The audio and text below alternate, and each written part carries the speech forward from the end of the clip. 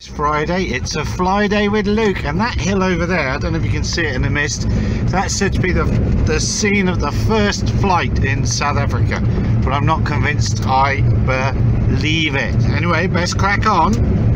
So what am I actually supposed to be calling this, Luke, a two, two and a half meter or two meter VTOL? 2.5 meter VTOL. 2.5 meter VTOL, not a baby shark. Automatic. I mustn't call it a baby shark. It's an automatic RC plane. Uh, I won't call it a baby shark then. These these two batteries here, what size are they and what are they for? They are two 5 amp batteries, 6S, and those are connected in series. And those will provide the lift motors. So that's your hover power, and then hover if you like. that's your hover power, VTOL power, and then this one is um, found down the dump. Yeah, yeah. We found it on a tractor somewhere, and, then, yeah. and then shaved off some some ground. But this is this is uh, a locally produced uh, lithium ion pack and uh, that's for the cruise. for the cruise part of things.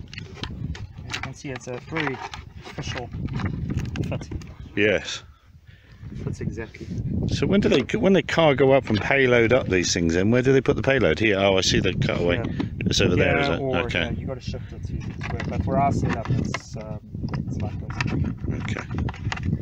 The aim of the game today is to test some uh, secret squirrel stuff that uh, Luke's got on board uh, to do with stuff.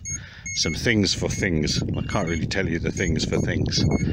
It's quite a tidy machine, but you you do want to, if you get one of these, put your own cube in, start from scratch, and maybe even consider rewiring it, which I think will happen to this one.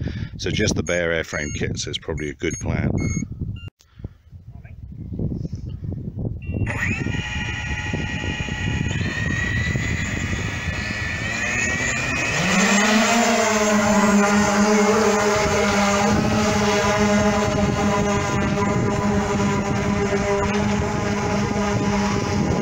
I think I think you need to explain to me what you just said. You, what are you doing now?